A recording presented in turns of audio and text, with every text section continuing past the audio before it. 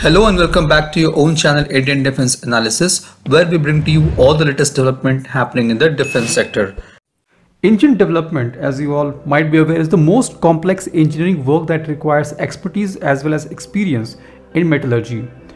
India operates thousands of main battle tanks which are powered by engines exported from foreign nations.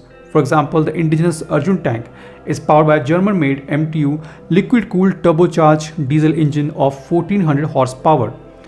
The demand for these engines is huge in Indian military and we have to spend millions of dollars in exporting and their maintenance. Last year, the chairman and managing director of BEML has confirmed that the firm has taken up a project for design, development and supply of 1500 horsepower engine to CVRD with end user being Indian Army. The engine will be supplied to use on future main battle tank and is designed to work in extreme environmental condition. This will be India's first high-powered 1500 horsepower engine. Now the good news is that BEML has started working on the engine. On 8th July, BEML has inaugurated their Engine Design and Development Center at their Mysore complex which will be the center for the development of 1500 horsepower engine along with other engines. BEML will supply these engines to CVRD of DRDO who is responsible for the production of Arjun MBT and licensed manufacture of Russian tanks such as T-90 Bhishma. The 1500 horsepower engine on which BEML is working will be 1500 horsepower Bharat power pack developed by CVRD for the next generation main battle tank program and future inventory vehicles of Indian Army. The work on the engine has started way back in 2010. Last year, CVRD has planned various ground trials for the main engine along with turbocharger after which the engine was to be integrated with old Arjun main battle tank prototype.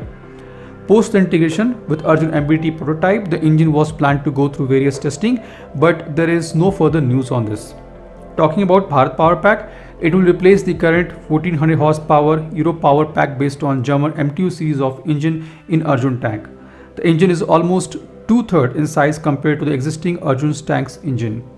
Bharat Power Pack will come with transmission system that includes a cooling system, air filtration, preheater, turbocharger, electrical system and power management and can be further customized for desert or high altitude operation depending upon the user requirements. Now the benefit of indigenous engine will be that they are designed to perform optimally under the Indian condition, be it desert or high altitude.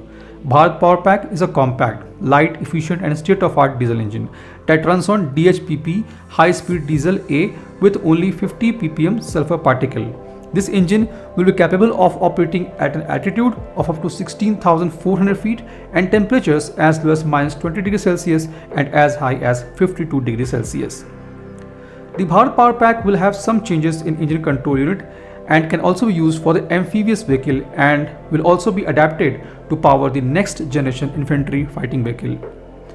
The Bharat Power Pack will have weight of around uh, 2200 kgs including coolant and oil that makes it little heavier than the other modern power packs that are usually around 2000 kg for the same horsepower generation. However, the production variant will likely see reduced weight after several improvements that are being planned before it enters the production. This was today's update. Please let us know what is your views about these in comment section. Feel free to post your comments and suggestions about any topic related to defense sector on which you want to hear from us. With this, I would like to say goodbye and Jai Hind friends. Please like and subscribe our video if you have not done already. We will be soon back with more interesting and amazing development happening in defense sector.